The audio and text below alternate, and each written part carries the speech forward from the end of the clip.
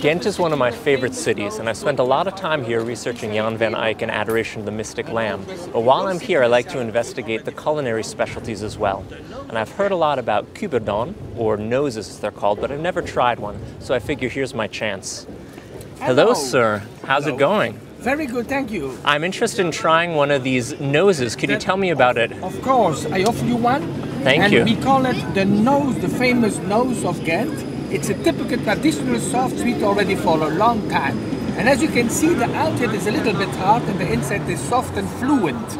It's an old technique of baking and it's very famous in the region of Ghent. You can also recognize it on the G on it. Okay. And why are they called noses? The noses, it's very easy because it is like a nose, Mm-hmm. and it's very popular uh, with the children, among the children, and also with the big children. Is there a special technique to eat it? Yes, you have to bite it first of all the top, and then you have to, to take the other okay. And as you can see, the outside is a little bit hard and the inside is soft and fluid. Wow. That's the technique.